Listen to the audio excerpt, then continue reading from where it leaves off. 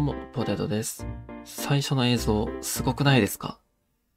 あれは海外 YouTuber の方が上げていたトレーラー映像です。概要欄にリンクを貼っておくので見に行ってみてください。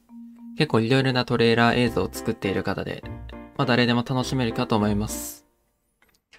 さて、今シーズンももうちょいで終わるという感じなんですが、今回は次のシーズンの考察をしていこうかなと思います。面白いと思った方は高評価、チャンネル登録よろしくお願いします。まず最初の考察です。UFO がフォートナイト内に現れているのは皆さん知っているかとは思いますが、その UFO がロケーションになるのではないかという考察が海外でされていました。実際、チャプター1シーズン9では浮遊するロケーションがあったので、そんな感じになるんじゃないかと思います。あと、その UFO がマップ中を移動しても面白いという声もありました。皆さんのこうなったら面白いというものがあればコメントよろしくお願いします。次の考察は新しい武器が来るのではないかという考察です。フォードナイトバトルワにある武器は世界を救えから持ってきたものがほとんどなんですね。もともとフォートナイトは世界を救えが最初に作られたなので、そして実装される武器というのがこの武器です。まあ、一目でわかるのが SF 的な見た目をしてますよね。今シーズンはプライマルという時代に沿った見た目の武器ができましたが、次のシーズンの雰囲気はおそらく宇宙になるのではないかと予想されています。まあそうなると普通の武器も、まあ AR とショットガンとか、そういうものとは別に新しく実装されるんではないかと思います。ここで少し武器の紹介をしていきます。まず最初、えー、ブラストトロンミニ。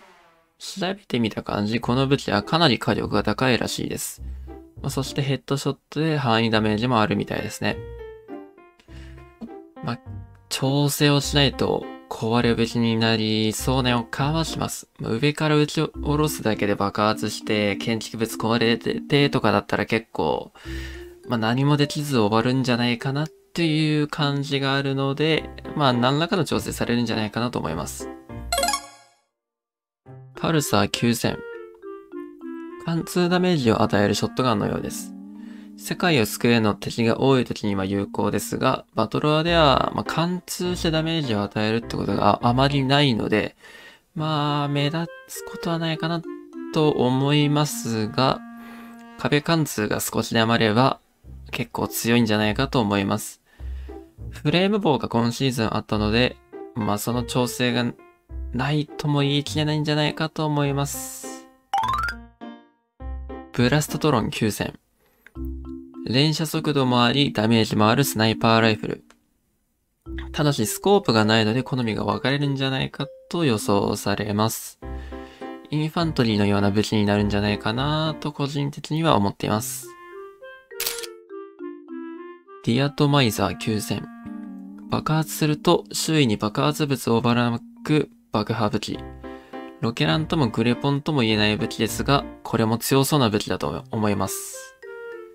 今シーズンの Explosive Bow の弓も爆発するような感じなんでしょうかね。もし実装されるなら使ってみたい武器ではあります。ちょっと面白そうですね。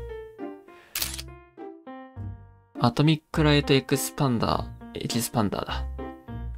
火力の高い槍のようです。世界を救うの中でも数少ない槍武器の中でも最上位にあたる武器のようです。まあ、バトロワーで昔あったインフィニティブレードみたいな近接武器になるんじゃないかなと、もし実装されるならばちょっと予想されますね。アストロバット9000。あまり強くはないクラブ。通常攻撃に加えて遠距離武器もできるみたいです。まあ、野球国くらいはできるかもしれないですね。以上が大雑把に調べた感じの結果です。僕が世界を救うをやっていないのに加えて、まあ、ネット上でもあまり目立った情報源がなかったので、まあ、全部紹介することはできませんでしたが、調べると結構面白い性能なのが分かりました。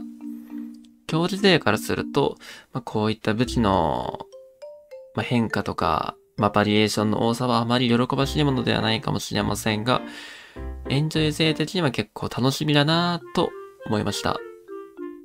今回の動画はここまでになります。これからもこういった情報を発信していくので、最後に高評価だけでもしていってくれたら嬉しいです。それではご視聴ありがとうございました。